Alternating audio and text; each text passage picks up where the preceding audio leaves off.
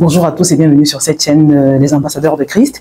Je vous souhaite une fois de plus une année bénie, une année heureuse, une année épanouie en Christ, tout ce que vous voulez. Et euh, j'ai bien reçu toutes vos questions. Je vais prendre le temps d'y répondre.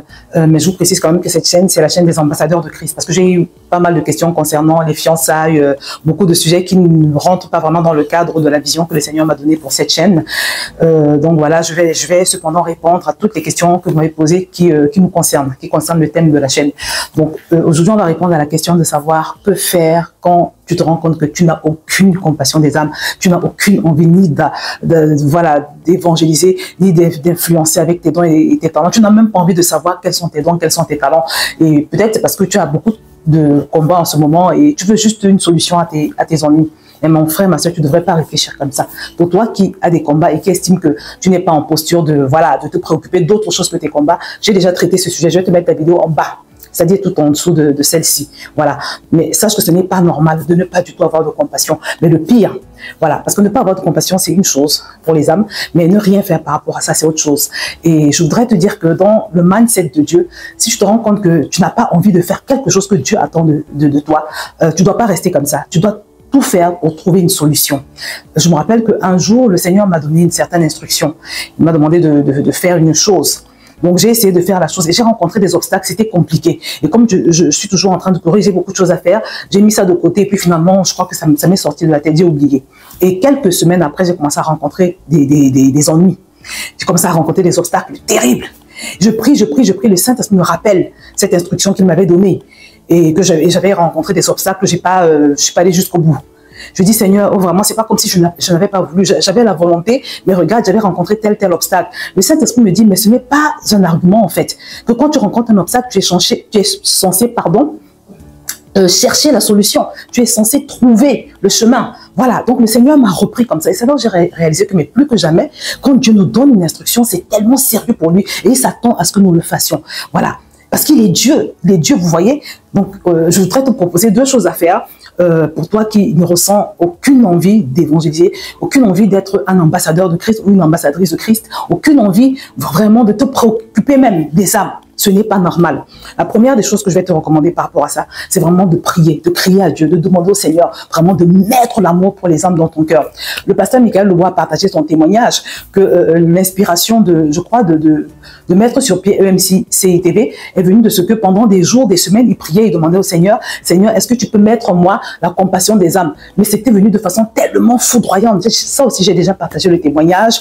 Euh, il s'est retrouvé en train de pleurer pendant des, je crois, des jours et des jours. Il n'arrivait même pas sorti de sa chambre. Il pleurait tout le temps. Pourquoi? Parce que Dieu lui avait transféré son fardeau. C'est-à-dire que c'est la douleur que Dieu a de voir les âmes en souffrance, les âmes qui, les âmes qui vont en enfer tous les jours. Dieu lui a transféré cette douleur-là. Voilà. Et c'est comme ça qu'il a commencé à souffrir et il n'avait plus la paix en fait. Et ça a donné lieu à quoi? Il a utilisé ses, ses, dons et ses talents parce qu'il a, il est, euh, je crois qu'il est ingénieur informaticien, du moins, quelque chose comme ça. Il a utilisé ça pour mettre sur pied, déjà pour commencer, je crois, un site internet, parce qu'au début, EMCITV était un, site internet euh, qui s'appelait enseignement.com. Et puis voilà euh, ce, que, ce que ça a donné aujourd'hui. Donc ça, c'est la force qu'il y a à prier, à demander au Seigneur. Et tu es sûr qu'il va t'exaucer parce qu'il dit dans sa parole que si nous prions conformément à sa volonté, nous avons l'assurance qu'il nous exauce. Donc ça, c'est un sujet de prière. Tu es sûr que quand tu vas demander au Seigneur de te remplir de la compassion des âmes, euh, il va, il va t'exaucer. Parce que tout part de là, en fait. Sans ça, ce sera compliqué. Et même si tu te forces à le faire, ce sera sans conviction, sans, sans euh, vraiment euh, zèle, ce, sera de façon un peu robotique et il n'y aura pas beaucoup de résultats, tu vois. Donc, c'est très important que tu aies la compassion des âmes. Même si tu évangélises déjà et que tu le fais sans compassion, tu dois quand même prier. Parce que tout part de là, je le redis. Donc, la première chose à faire, c'est crier à Dieu pour cela et de ne pas t'arrêter de prier jusqu'à ce qu'il t'entende. Et parallèlement aussi, si tu n'as pas encore tes dons et tes talents, tu peux demander au Seigneur euh, de te révéler, de te le révéler. La deuxième chose euh, que tu dois faire, en plus de, prier, c'est de, beaucoup observer et écouter les personnes qui sont en feu pour euh, tout ce qui concerne l'évangélisation et tout le reste. Moi, c'est ce que j'ai fait. je me rappelle qu'un peu après ma foi, quand, je me suis convertie, c'est ce que je, faisais. J'écoutais des gens comme l'évangéliste Randa Bonke, voilà, voilà, beaucoup de personnes qui, vous voyez, les, gens qui vont dans, dans, la rue prier pour les gens et tout ça. Et particulièrement quand j'écoutais l'évangéliste Banquet, ça m'a transféré un feu Je ne sais pas comment le dire. Et, et, j'ai tellement été impacté par ces vidéos qu'à un moment donné, ces, enseignements, ces prédications, ces, croisades en Afrique, qu'à un moment donné, je suis partie en Allemagne pour son école d'évangélisation. Voilà, il avait une école d'évangélisation. Avec mon mari, on est parti. Je me rappelle qu'on avait dépensé quand même quelques milliers, d'euros. Et je vous assure que, une fois de plus, quand nous sommes sortis de là, j'étais en feu. On était en Allemagne. En Allemagne, on ne parle pas français mais on évangélisait dans les trams, dans les rues. Je ne sais même pas en quelle langue je parlais aux gens. Mais je suis revenue de là, mais chargée comme ça là. Non, mais je ne peux même pas vous expliquer.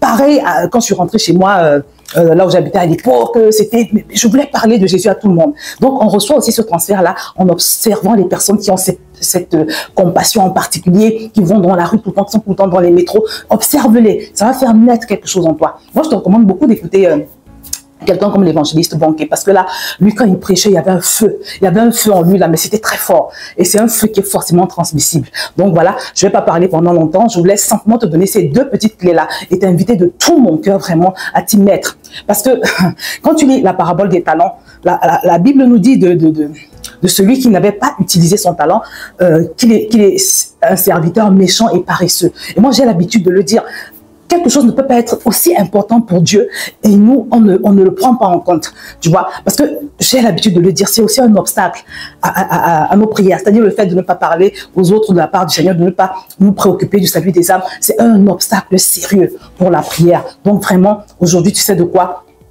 euh, euh, il est question, tu sais ce que tu dois faire. Euh, on a dit prier de tout ton cœur et puis écouter régulièrement les personnes qui sont en feu pour le, les âmes.